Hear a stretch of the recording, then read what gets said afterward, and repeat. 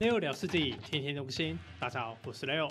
今天来看朝鲜人对上马来人，这场比赛是很爱写的哈普地图。好，先来看一下，大约六点钟方向的朝鲜人。朝鲜人拥有免费的工兵铠甲，而且他挖石头速度非常快哦。那朝鲜人的箭塔呢，也会随着时代自动升级，算是一个很适合打塔攻的文明。那朝鲜人呢，他的强弩兵呢是比较适合的，还有马弓路线。马弓路线的话，虽然没有品种，但在一些特殊情况还是可以用的。那他的战矛兵呢，也是正好三攻三防哦。呃，他的大马大落马呢，算是也是可以用的。反之，对方的僧侣是一个不错的选项，但一样没有品种，甚至没有三攻三防，这也是一个后期的大问题。呃，大多数的时候还是要用这个强弩兵或是马战车搭配枪兵的做法，还有这个头车火炮作为副输出会更好一些哦。那我们继续来介绍一下马来人哦。马来人升级速度特别快速哦，而且他的步兵单位是有免费的步兵铠甲，但是他的工兵呢又是可以全满的啊，有这个三级射、三级防，而且还有拇指环，而且战矛兵也是正常的啊，什么都有啊。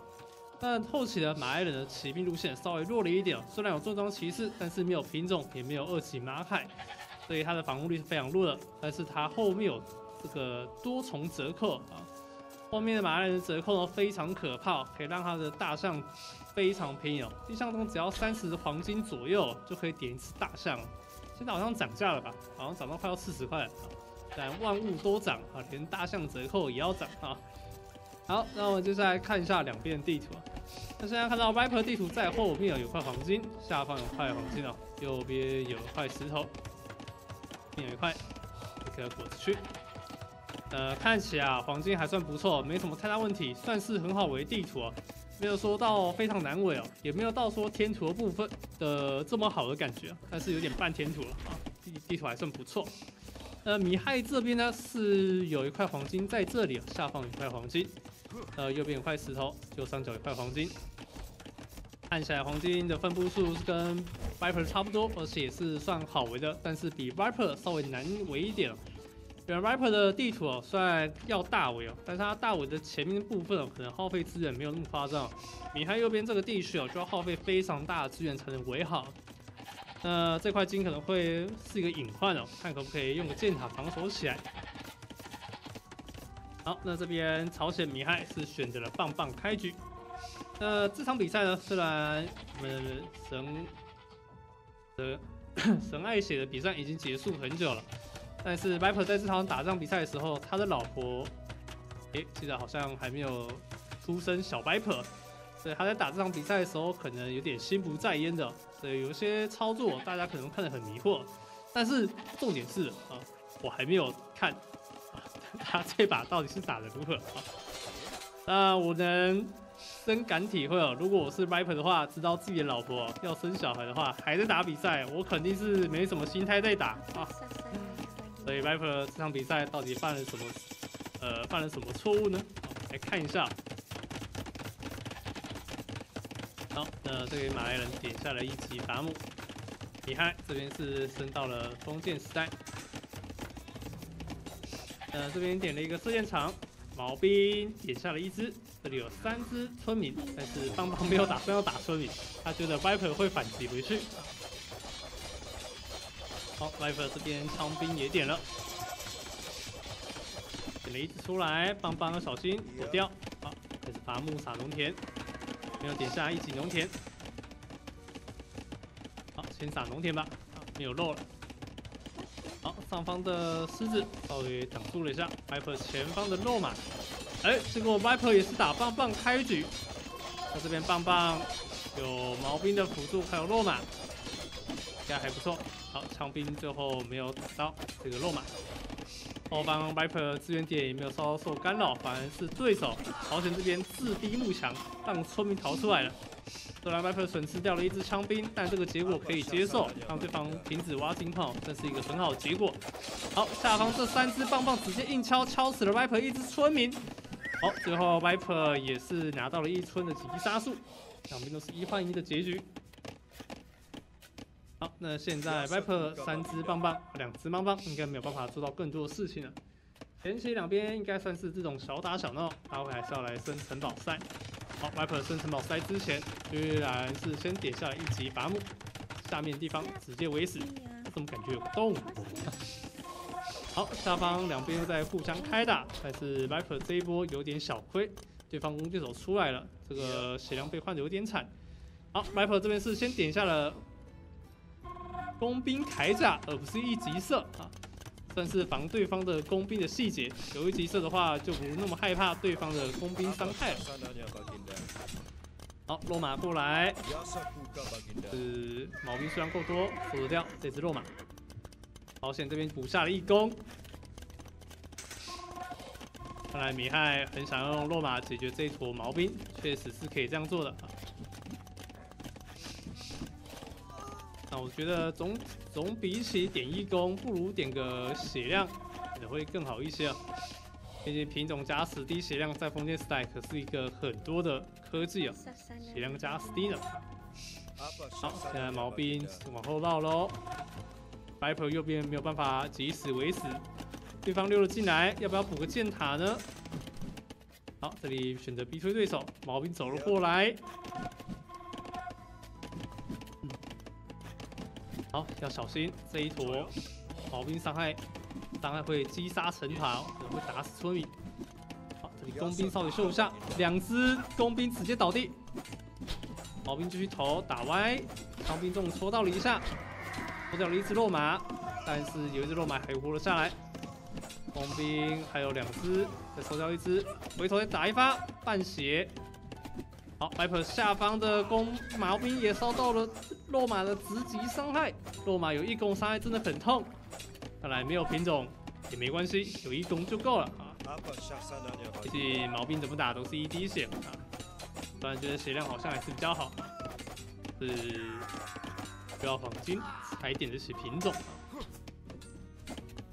OK，Viper 暂时被压制回去，但是没有受到太多的精细损伤，算是一个不错的结果了。好，那两边应该来准备升到城堡赛。Viper 这边设置在会非常早哦。好，马来人这边点城堡赛，石头没有卖掉。好险，把自己的石头卖了，点了城堡赛，但是马来人加速时间的关系，只需要一分钟就可以升级到城堡赛。主间的位置补了一根箭塔，可能会觉得对方如果直接冲进来，金矿跟木须会直接爆炸。所以要是爆炸，基本上也不用玩了。所以补了一个箭塔作为保险。OK，升到城堡赛，点下弩兵二级射。快补一下二级色，现在暂时点不起来。OK，可以了。好，点了二级色，就继续按村民。马来人待会才要开 TC，先补一个大学，然后紫散弹道学啊。好，结果这一波工兵直接送到，但是 Viper 没有打算要追击，现在目标是朝鲜家里。好，罗马想要回来防守一下，结果被反打。工兵继续往前。但是落马紧追在后，稍朝鲜也升到了二级色弩兵，看来暂时没有办法打赢，因为对方是朝鲜人，天生自带二防的工兵效果。白普遇到这个情况，赶快点一下二级的工兵铠甲。哇，白普的反应很快，知道自己缺的是什么。但这个落马一直在前面绕，好烦呐！一直在帮白普开路。好，这里贴到可以往上打了。这里要先点掉对方的工兵，Viper 在跟后方的工兵做汇合，不然这坨工兵是打不赢的。Viper 的弹道血还有二十秒，这里最好是不要继续打，先继续打下去。弹道血的优势可能会消失。好，这一坨兵还是要注意一下。右边突然有点战况出现，这里开始转出了投石车。艾弗正面的工兵开始回去，哦，有了弹道血的效果，开始拿出打出自己的 DPS 了，伤害打出。现在 Viper 工兵继续转，大底要不要补个工程器制造所？好，补了一个城镇中心。好，这边 D 打高，稍微有点难受。好，还是把对手给逼退了。好，这里又有石头，可以继续挖。这边这个石矿有围死啊！哎呦，好，打破了一个房子，这边终于可以走进去。艾普这头工兵现在目标是米亥家里艾普家里要守住，还是要拉一些工兵过来做防守。呃，马来人的僧侣科技哦，也算是能用的。对，如果真的待会需要用僧侣去防守工程器，也可以用。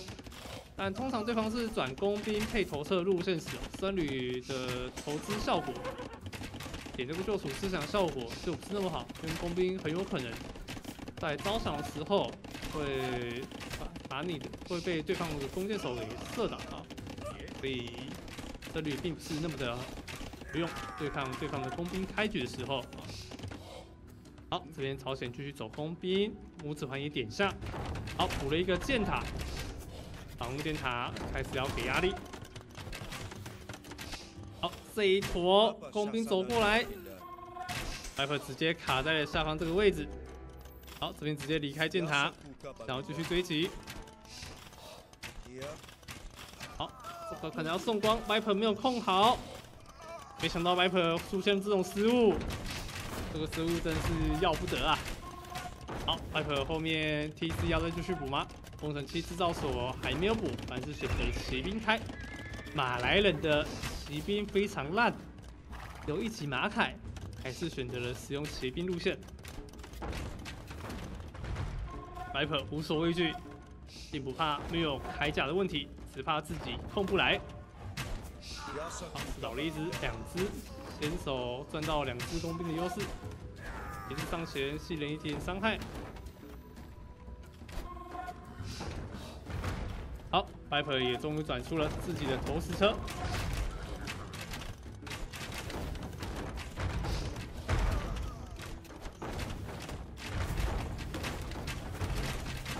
好，骑士上前，第一时间被打倒，后方的工兵数量有点少，呜。有点难躲啊！朝鲜有弹道学了，现在两边有点互射。哎，上面这些工兵怎么在射箭植物呢？好，那看起来 Viper 还是稍微有点优势啊。左边刚刚火力不太集中的关系，朝鲜中掉了太多工兵，这个投石车被换掉。可是自己砸自己吗？是我看错。好，Viper 后面补了一个城的东西。朝鲜人现在是单 TC 防大啊。那后面又补下一个新的城镇中心，两边都是前期工兵开局。那我是觉得马来这边直接转爪刀可能会更好。如果出骑士要投资马凯的话，赶快挖出一栋城堡，投资爪刀勇士上前 A，可能就更好一些。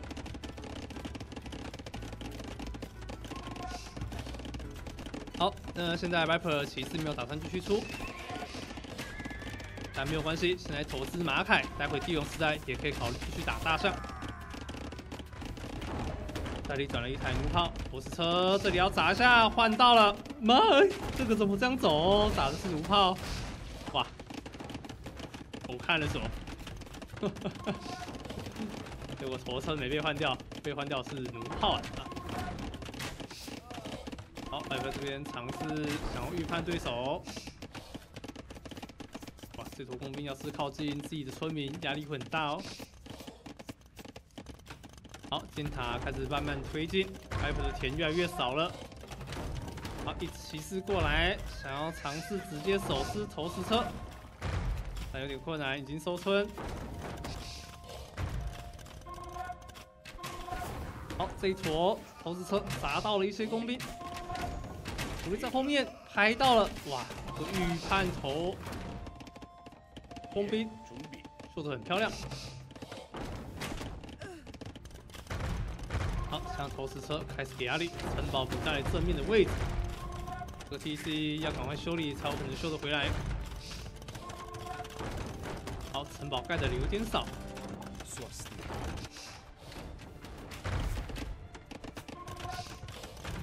好，投石车过来，想要直接拍掉后方村民，但是这里反要收村，但收村没有办法，因为城镇中心已经着火了，里面可是火灾现场。没有办法正常的进去建筑物里面。好，这个投石车最后没有碰，被 TC 给射掉了。好，左边投石车被工兵给点掉。Viper 这一波有点亏，但是投石车换掉了一只。预判一下，又拍到了一下，血量稍微补齐，等先把村民给点掉，投石车拍到了，漂亮。好，再拍一下，这次没有拍到。左边的工兵努力在射，再拍一下，打倒 Viper 后方的空兵，最后成了大功。OK，左边最后守住了，哇，Viper 村民数已经领先米亥三十村了，资源量已经是领先两千五左右的资源。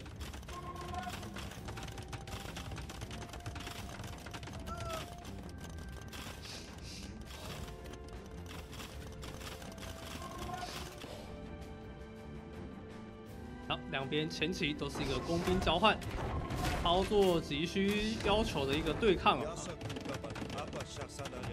好，结果头车护头，米亥反而没事。艾和这边拉了一拉了一头工兵过来，想要卡位。好，我们这只这个城堡盖好，应该就可以守住上面这块区域了。好，帝王时代准备要停下了。朝鲜这边帝王时代还需要一点资源。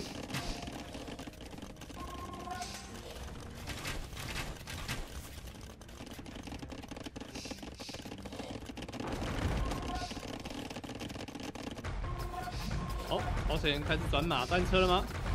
马战车的话，马来人继续打强弩，会有点小亏哦，也是要转战矛兵的。战矛配上爪刀勇士，感觉也不错。好，帝王时代还有二十秒，帝王时代一好，爪刀就有三防喽，还不需要研发，免费给。OK，五点远防的爪刀勇士来了。哦，结果这头蜂兵居然从上面溜了进来，这个 Viper 一定要处理一下了，不然这边工兵会死很多。这边速度稍微下降了一点，红石车砸到了一发，好，先点下了三级射。这坨工兵还在绕，Viper 这波死伤有点惨烈。这一坨工兵已经击杀掉了非常多的村民。哇，一直射，一直射，有拇指环好强，杀了十村，十一村。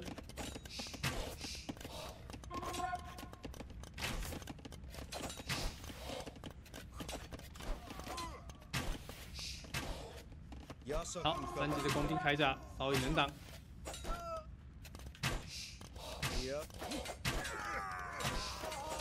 好，终于能打赢了。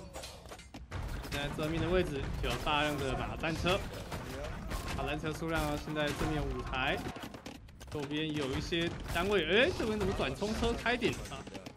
好，左边这里想要盖堡，结果堡没有盖成功，反而变成倒城堡。白腿这根倒城堡有点亏啊。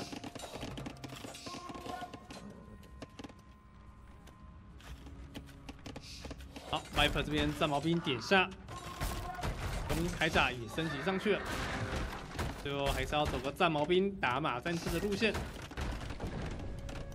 好，Viper 这边转出了火炮，但是资源跟对方差不多喽。然后那一波弩兵让 Viper 的村民数下降的有点多。好，这边来盖堡，结果马战车再度阻止，看起来这根堡又是难盖了。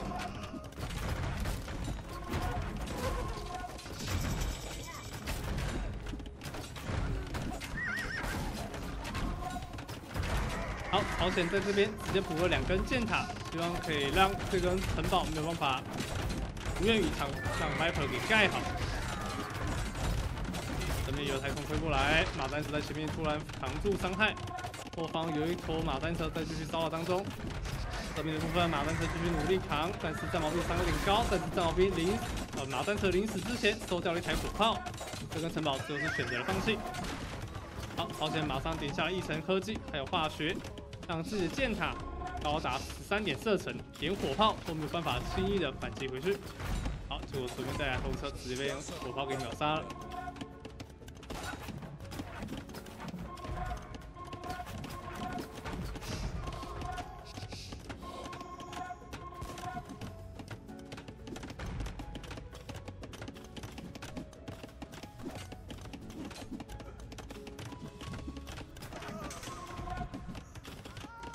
好，Viper 这一波打的压制力非常够，但是正面的火力不太行哦。虽然都是战矛兵打对方马战车，现在是 OK 的，但是一旦朝鲜转出火炮或者投石车之类的东西，这些战矛兵就会很难打。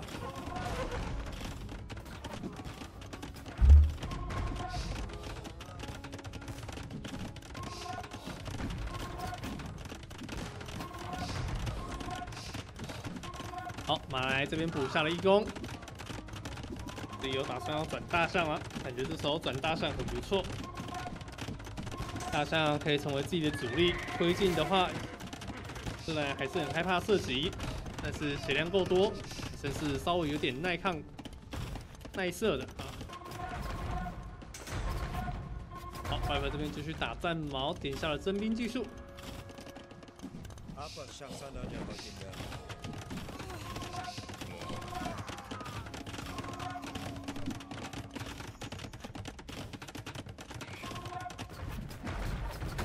觉米亥现在也不太知道自己该转什么兵，觉得马来，哦不是马来，朝鲜这边也可以转一些肉马，用肉马反制这些战矛兵也是不错的。但朝鲜这边要转肉马的话，耗费资源也是蛮庞大的，而且没有三级的马凯，战矛兵还是有可能可以反击回去。还是直接转火炮头车，好，朝鲜这边决定要转头车了。哦，不是头车，火炮。火炮部分按两台。那现在马来人现在二攻也点下，但是并没有看他有什么打算。那马来人可以点下金冠强制征兵，就可以让双手剑兵啊不需要黄金就可以生产。好，看一下这台火炮有点危险哦。哇，结果最后还是被点掉了。对，城堡直接射爆。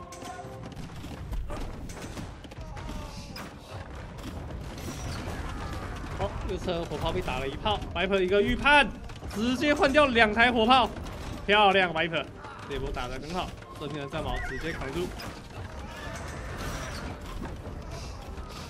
好，这一波 Viper 拿到决定性的优势，两台火炮换掉之后，战果完全不一样。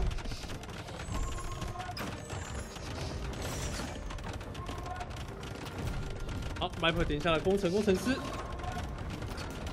让自己的攻城伤害再稍微提高一些，火炮也可以射得更远。好，这里火炮开始在砸巨头，巨头可能会撑不住。好，被点掉，但是战矛兵也开始在点自己的火炮，火炮也被点掉。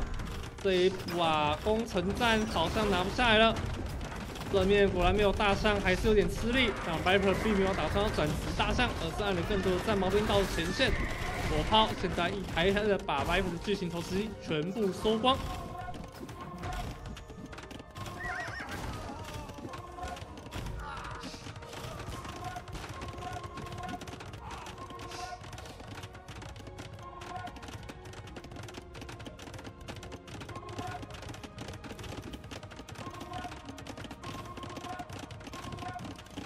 好，白虎前线补了两个工程器制造所。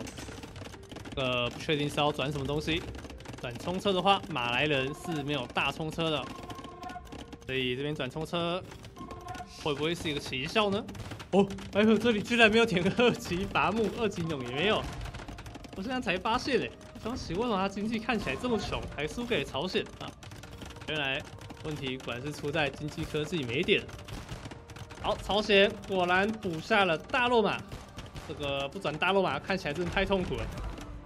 好，白虎后面有一坨战矛兵入侵，但是战矛兵努力输出，还是可以打下落马。OK，落马全部解决掉。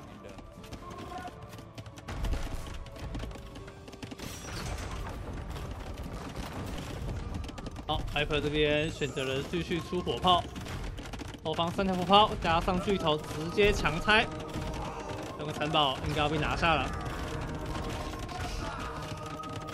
好，最后是被米开拿下了这根城堡。战矛兵在后面继续骚扰，击杀了一些村民，但是大罗马军来了。这头战矛应该凶多吉少。这边城堡掉了之后，米哈有机会可以反打了。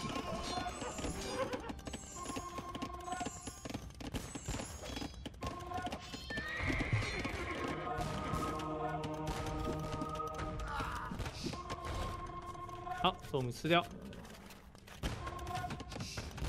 现在 Viper 转出了一堆冲车，点下了双瓦技术。好，直接用爪刀手撕这根箭塔。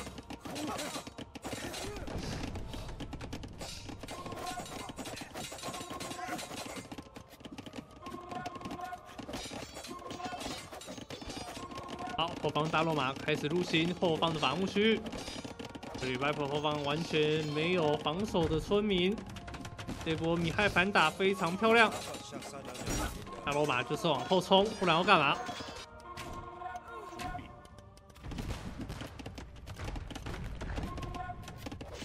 好，map 后方经济有点炸裂，不太舒服。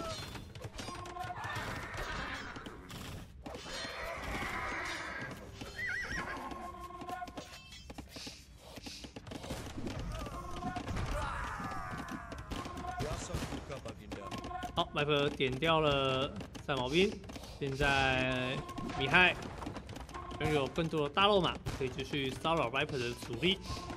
Viper 现在主力是爪刀勇士跟战矛这两个单位，都其实蛮怕肉马。好，右边采矿村民被 Viper 的战矛给抓包，上方直接用爪刀直接抓掉肉马。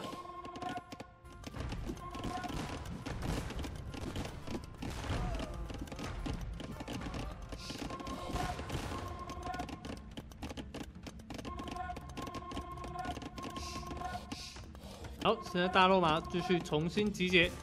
，Bip 现在的战法并没有打算要转大象的样子，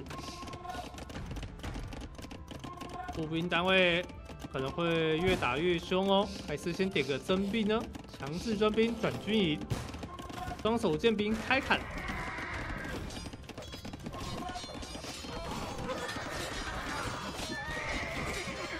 奈何这一波卡在一个毒口，这个毒口让这些落马还是溜进来，大落马越来越多。白婆这时候点一下精锐爪刀升级，但现在黄金超归零，继续升爪刀是正确的吗？感觉双手剑兵才有机会反打。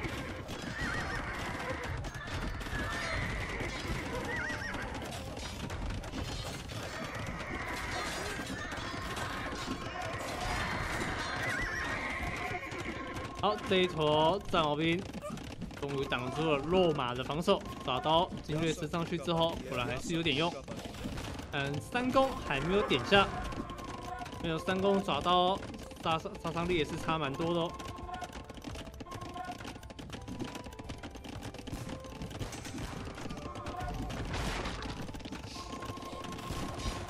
好，落马再次上前，给他这边用落马继续给自己。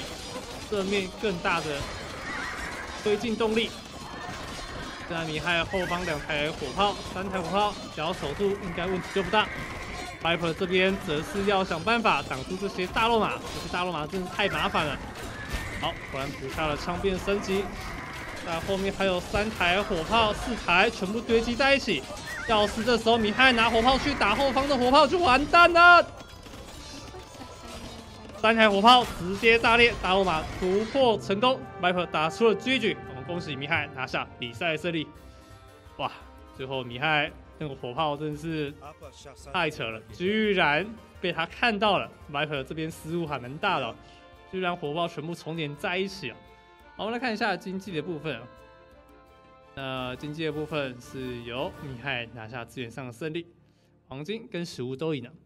但其实 Viper 在这一场比赛里哦，应该还是能继续打的，但只是因为心态炸裂不打。所以我也觉得说，并不是 Viper 打不赢对手，而是可能心态上或者是那个之类的心情不在比赛上，所以选择了提早投降，也说不定。好啦，那么今天影片就差不多到这喽。那如果喜欢这部影片，请记得帮我刷订阅，我们就下次再见喽，各位拜拜。